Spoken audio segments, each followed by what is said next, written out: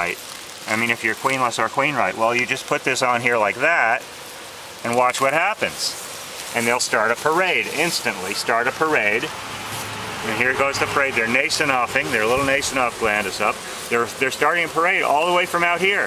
You watch them. They're all going to go, and they're, oh my God, here's the queen, you know, and they just go and they go, and, and they're flitting. Look at the flitting of their wings. They're flit, flit, this one, flit, flit, flit, that one, flit, flit, flit. That means that there's no queen in this hive.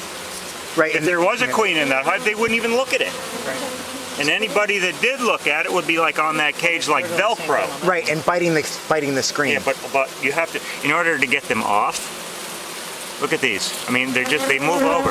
right. They're not attached. But if this was a they didn't want this queen, you you could you could adhering. pick them you could pick them off there and it's like Velcro. Right. Their That's a good their feet are attached to that and it goes just like Velcro. I like that description. But look at look at how they're acting. These guys want a queen. That's another thing newbies can't tell is the difference between they're excited about the queen and they're attacking the queen. Right. That's a good description because they're hanging on tightly because they're trying to get through the screen. That's right. And they're, Oh, and you their can see they're abdomens are all starting to humped up. fan there. See that? See how they do oh, that? just- That hive is definitely queenless. Yep.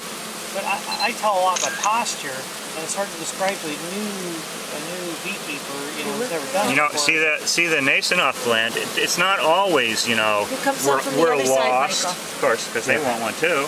they're It's not always they're lost and here's our home. over